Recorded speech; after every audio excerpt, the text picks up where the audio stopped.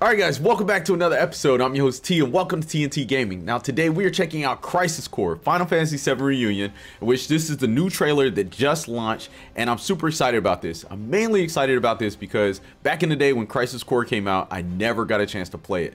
So let's go ahead and jump into it. Let's check it out and uh, let's see what's going on. Those wings. I want them too. Oh, The company has decided to eliminate Genesis and his cohorts. This includes Angeal as well. wow. That sword represents our family's honor. I see. No wonder. I've become a monster. A monster's Whoa. objective is usually world domination or revenge. I told you. You can't live on that side anymore. Is that Angeal's face? It appears Genesis isn't the only one who can be copied. The mysterious gift of the goddess.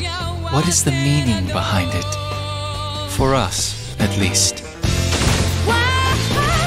Oh man, this this game already it looks beautiful and I can already feel that it's gonna it's probably gonna be like incredibly emotional. But I'm ready for it.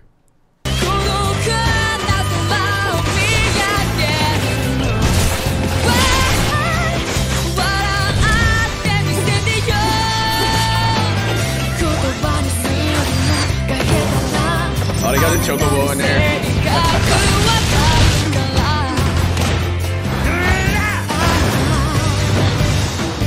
Those soldier people are kind of weird. They fight. And they love it. If only I were soldier. Soldier Oh, is like a den of monsters. Don't go inside. Do you remember what I said about our enemy being all that creates suffering? But I created my own suffering. You want to do something to me, eh? But then, who will stop Genesis and Angeal's degradation? If this world seeks my He's a destruction, it goes with me. Am I a human being? Shinra, soldier, and you.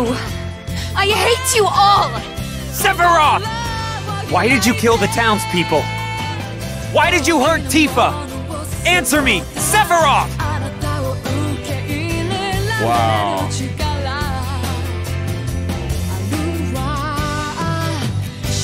Sephiroth!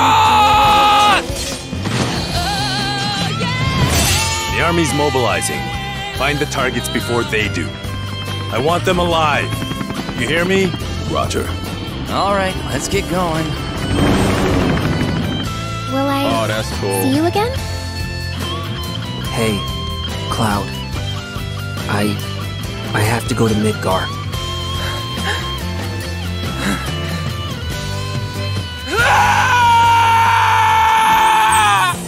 Wow. So, as I said before, I think this is going to be an incredibly emotional uh, game.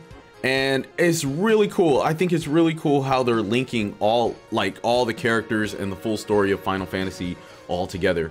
And uh, as I said before, I never got a chance to play this uh, game in the past, and so I'm not too familiar with all the characters that are in there. And I've been trying to for God knows how long been trying to avoid the spoilers of everybody talking about it and, and some of the things that have came in there.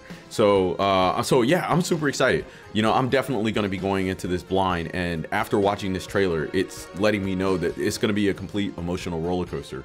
One other thing that I really did like was how they are more or less humanizing Sephiroth because uh, for for as long as I've been playing Final Fantasy uh, and have known of you know the Final Fantasy VII universe, Sephiroth has always been like this evil, heartless bad guy, and so I think it's really cool that they're showing a different side of him as well as some of the other uh, back characters in the game, and and I I think it just I don't know for me it just it feels more complete I guess, with the Final Fantasy VII universe.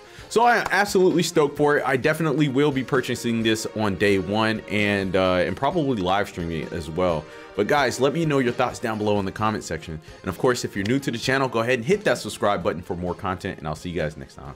Peace.